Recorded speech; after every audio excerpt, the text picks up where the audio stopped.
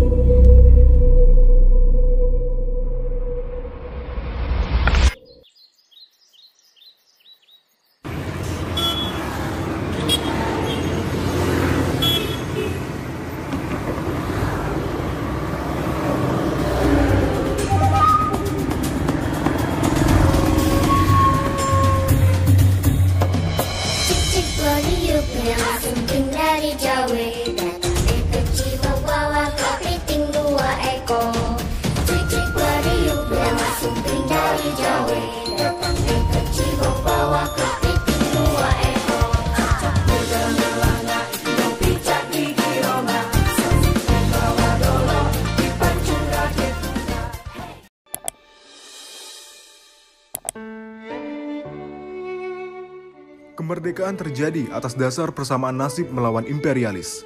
Namun kini, kemerdekaan harus hadir karena persamaan nasib melawan pandemi. Pemuda seperti kita harus mampu menghadirkan disrupsi positif bagi negeri, bukan hanya sekedar hegemoni tanpa aksi. Merdeka berarti bebas, bebas dari rasa takut dan bebas dari kekurangan.